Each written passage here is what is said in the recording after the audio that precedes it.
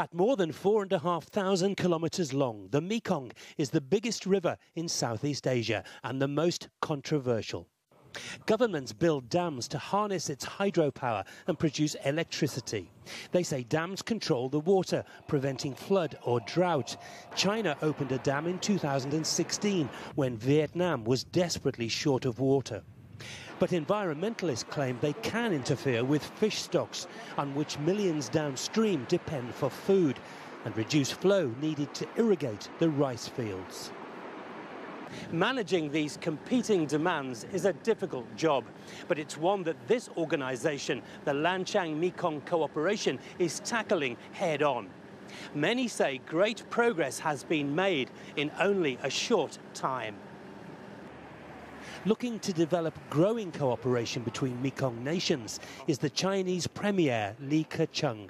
He's leading discussions here in partnership with Cambodian Prime Minister Hun Sen.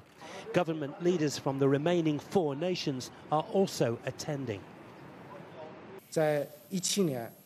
In 2017, Chinese investment in countries along the Lancang Mekong River increased by 20%.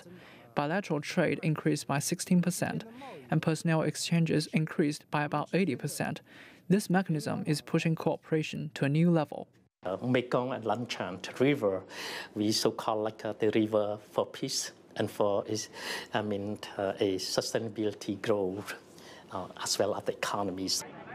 The LMC is the only body that includes all six countries the Mekong flows through China, Myanmar, Thailand, Laos, Cambodia, and Vietnam.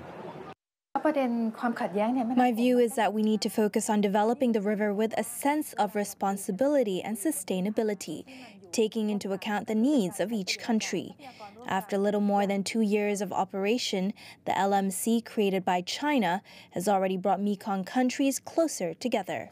After little more than two years of operation, the LMC created by China has already brought Mekong countries closer together. Reaching consensus is a key aim, and a contentious move to dynamite rocks to clear a route for shipping has been put on hold whilst more investigations take place. Martin Lowe, CGTN.